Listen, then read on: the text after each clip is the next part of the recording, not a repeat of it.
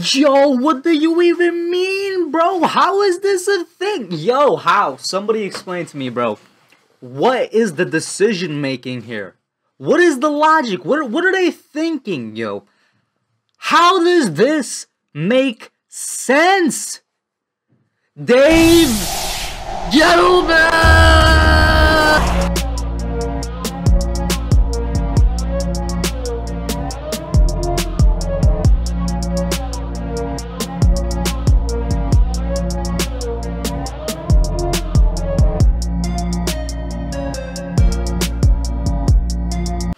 Uh, that that's that's probably how some of y'all expected me to react. Yo, my hair is going crazy. That's probably how some of y'all expected me to react, or something of the sort to this right here.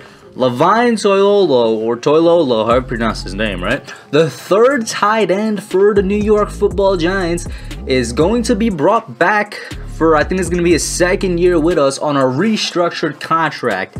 He was originally going to be making $2.95 million in 2021, which is way too much for a guy considering what he's done for us, which is not that much. He was supposed to be a blocking tight end for us. He couldn't block to save his life. He's a blocking tight end that can't block. And we thought he was just going to be gone in general because it's like, well, we don't need him on the roster, right? Like, that's going to be cap space right there. Easy cap space to free up that we need because I've already said multiple times, you've heard it not just from me, you heard it from your friend, from your neighbor, from your father, from your mother, from anybody that knows the New York football giants. You've heard that we're strapped for cap space right now, and these are the type of easy moves, releasing guys like Toyolo that's gonna free up some space for us. Not that much, you know what I'm saying? He would free up literally like two and a half mil, but it's still gonna be space that we could use and so the confusion right now is like, what's, what's up? What, what is with the Toilolo restructure bringing him back and whatnot? First and foremost, I must say this is not a terrible move just because, well, it's not that much money. Is it a move that makes sense? Absolutely not. And I'm going to say this real quick as well. Um, let's not pretend like Joe Judge and the coaching staff didn't have anything to do with this because I feel like we Giants fans as a whole agreed that they're going to have a bigger say in this year's offseason and this year's moves and whatnot. So I'm pretty sure that they had something to do with it. What that means is that the coaches saw something in Toilolo. You know, maybe Freddie Kitchens, who's our tight end coach. Maybe it was Jason Garrett, which if, yo, if yo, if it was Jason Garrett, this makes, yo, if Jason Garrett was a dude that's like, yo, that Levine Toilolo guy, man, I know he can't block, but I could use him in my scheme.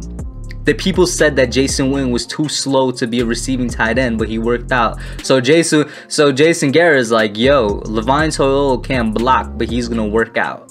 That would make sense if that's what happened. I'm kidding, obviously, but this this definitely somebody on the coaching staff saw something on him. Somebody with enough say, whether it's Judge, whether it's Garrett, whether it's the tight end coaching Kitchens, they had say. I feel like we're all forgetting this that the coaching staff is gonna have, you know, they're gonna have a good, you know, portion of the dealings uh, or a good, you know, amount of say in what's going to happen in the offseason in general. So is this a boneheaded move on Dave Gettleman's part? Absolutely. Is this a boneheaded move on the coaching staff's part as well? Absolutely. Or at least until we're proven otherwise, right?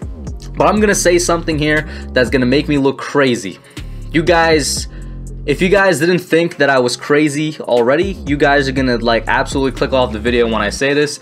And by the way, for those of you wondering why I'm making web webcam videos today, is because I've been busy for the past four days. And well, these are the easiest and quickest videos to make for me. And I, I wanted to get my reaction up on this. Guys, Bringing back Levine Toilolo is a sign that we're moving from Evan Engram. We're moving on from him. It's a sign that we're moving him, whether it's cutting him or trading him. Now, if you haven't clicked off the video already, the reason I think about that, the reason this comes to mind is because Evan Engram's been on my mind for the entirety of the season, unfortunately. But for the entirety of season, because he's another one of these guys that we can move and just free up like 6 million cap space, whether we cut him or trade him.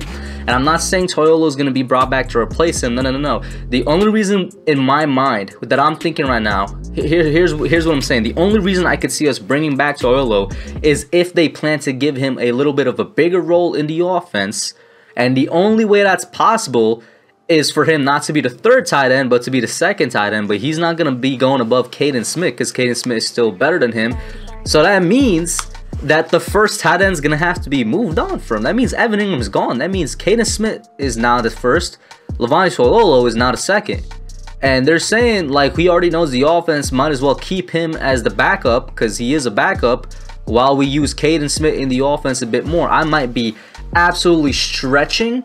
You know, this could be a complete reach for a reason as to why they bring back Toilolo, but I feel like it's something we got to consider. I mean, like, it's not completely out there that, that the Giants are thinking themselves, we're going to move on from Evan Engram within the next couple of weeks, maybe even the next couple of months. Hey, maybe even draft night. They're thinking we're going to trade this guy to a team that's desperate for a tight end, that thinks that they could use Evan Engram, that could things that it could unlock his full potential.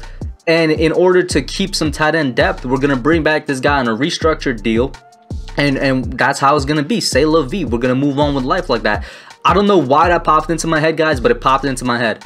This could be a sign that the Giants are done with Evan Engram and they're looking to seriously move him this offseason. And of course, it could also be a sign that we have no idea what's going on and for some reason Levine Toilolo attracted some something from the coaching staff something from the the front office and they were like yo keep this guy so Kevin Abrams Dave Gettleman they got to work they kept the guy uh, we'll see how it goes. It's a very short reaction video, but let me know what you guys think. Put your thoughts down below.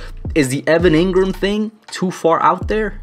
I don't know. I don't think it is. I, think it's a very plausible, very reasonable assumption to make just based off of, you know, the Giants 2020 season and Evan Engram's 2020 season and the fact that we were already considering moving on from him in a while. But once again, put your thoughts down below.